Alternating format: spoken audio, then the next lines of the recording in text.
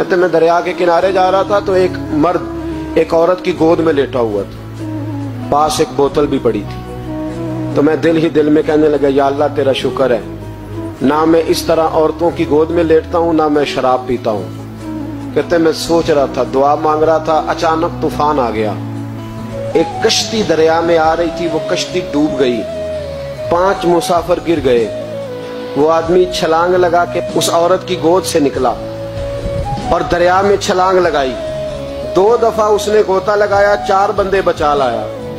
میں کھڑا دیکھ رہا تھا، مجھے کہنے لگا، حضور، آپ تو دعا مانگ رہے تھے نا کہ آپ مجھ سے اچھے ہیں۔ تو مہربانی کر ذرا پانچویں کو آپ بچا لائیں۔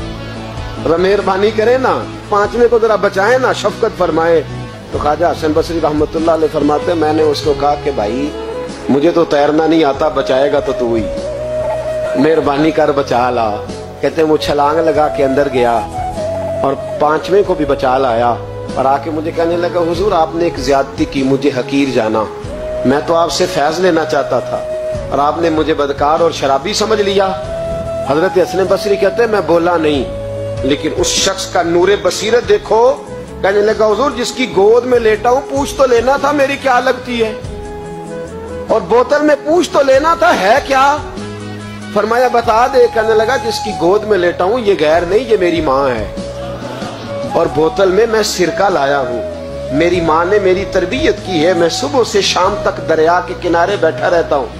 جو مسافر اترتا ہے میں نوکری کرتا ہوں۔ اگر روٹی کی ضرورت ہو تو کھانا دیتا ہوں، سرکہ دیتا ہوں۔ گھر جانا ہو تو وہ گھوڑا بندہ ہے۔ میں چھوڑ کے آتا ہوں۔